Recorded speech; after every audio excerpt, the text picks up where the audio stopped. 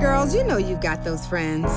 The ones that got your back, the ones that make you laugh, the ones that keep it real. We haven't hung in five years. We need a girls' trip. Buckle up, because I plan on getting white girl wasted. Okay. That's hand sanitizer. It burns.